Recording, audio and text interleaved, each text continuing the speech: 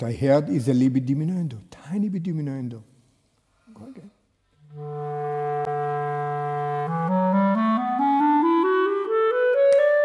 But what is this exercise for?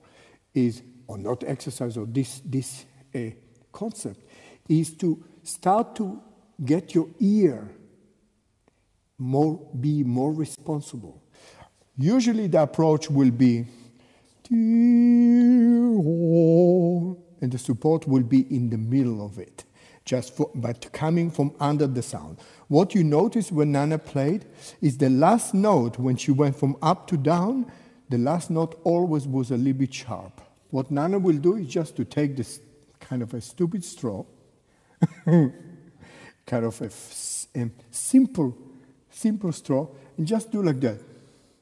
You will apply a little bit more air on the first note, and just don't just relax and the embouchure, but the sound of the air will stay the same.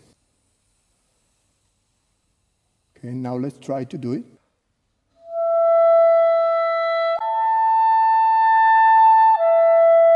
Thank you very much. That was fantastic. What happened? You may have noticed that now the sound sounds a little bit warmer. What the point here is to loosen up your fingers, not to let the ball fall from your scoops. You move your finger arbitrarily, but in the same time, you push as much air as you can, like you blow as hard as you can in this concept, with the straw or without the straw. Look.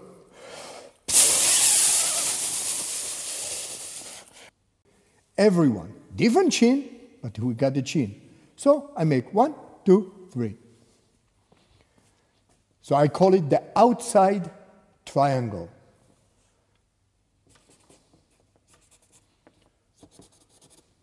Okay? So I usually, like I showed you,